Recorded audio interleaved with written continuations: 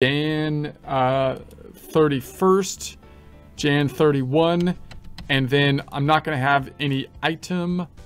Uh, we're going to say description. I'll say payroll, and it's going to be then the amount of the 4583.33.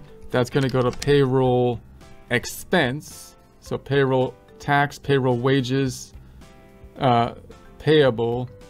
Uh, where's the, we don't just have payroll expense. Wait, maybe they called it wages, wages and salaries. There we have it. Let's put it into that one. I'll use the account that they provided us with, and that's going to be for the 4583. And then we're going to have pay, payroll liability. So I'm going to say one, that's going to be, uh, I'm pulling this numbers over here, payroll 101063. So negative 1010.63, bringing the amount down. And this is going to be payroll. This is going to be payroll wages payable, payroll taxes expense, federal payroll liability. Let's do that one. That looks good. And then the others, and then we're also going to have, and then the net check is going to be the 3572. So if I look at this uh, again, we're going to say, okay, does that make sense? We got a net check that went out 3572. He earned 4583. We took from him the 101063. So basically payroll is going to go up by that. He's only check is going to be for that amount and the liability is going to be that. Is that what we have here? I think so.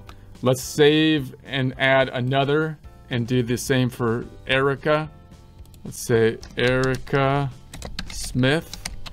And this is also happening on uh, Jan, not June, Jan 31st. And we're to say that this is just to be payroll quantity one amount here for her is to be 2,400. 2400 wages. And the other side i'm doing this fast because we're running long on time here. One and we're gonna say the other side's going to uh 54360 543.60 payroll federal payroll liability.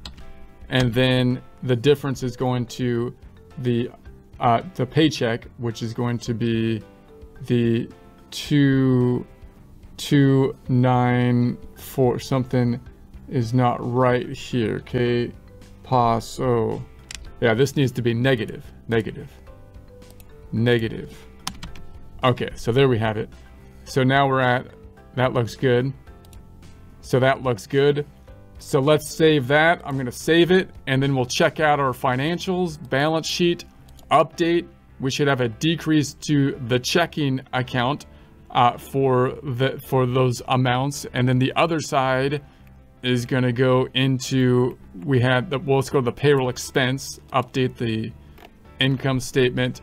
We've got wages, so there's the two amounts that went into the wages for a total of the 698333. So that totals the amount here. That looks good. And then we had liabilities. If I go back to my balance sheet, federal liabilities. That totals up to these two here or here. The one five, uh, I have to add this one, the one five five four 23 there and there. And then I just need to do a journal entry for our portion of the payroll liabilities and then we'll be tied out. So let's go back on over and do one more, por favor. And so I'm going to go to, uh, you have to go to the reports here. So we'll go into the accounting reports and I'll do this with a journal. We'll say journal report.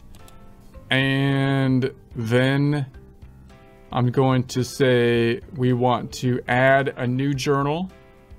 And the new journal is going to be uh, payroll tax. The date is going to be Jan 31st.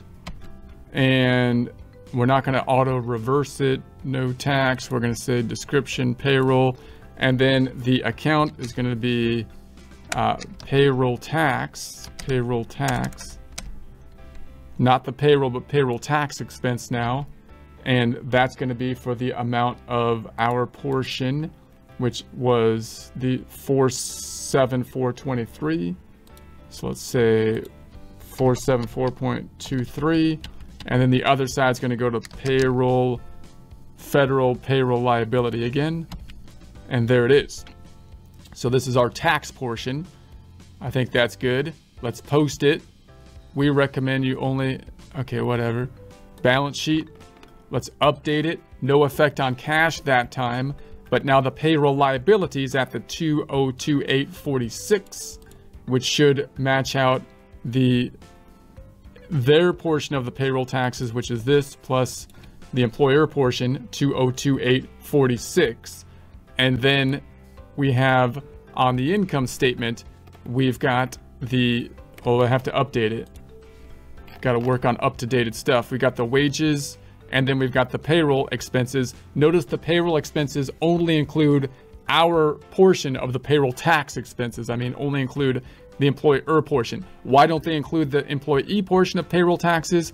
Because they aren't, in theory, our taxes. They are the taxes of the employee, which we are just being used uh, as the as the poor, pathetic tax collector. The government is forcing us to to collect on their behalf.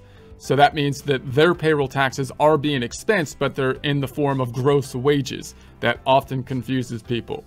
So there we have it. So let's let's open up a trial balance and see where we stand at this point in time because we're running long on time here. We're going to go into the accounting reports and type in trial balance, trial balance, and let's do the range change up top, hitting the custom range 2023, end of the year, update it.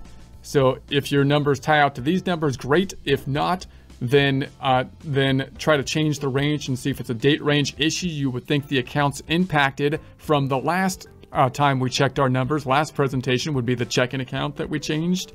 We changed the uh, liability account here for the payroll liability, and we changed some income statement accounts, including the wages and the payroll tax expense.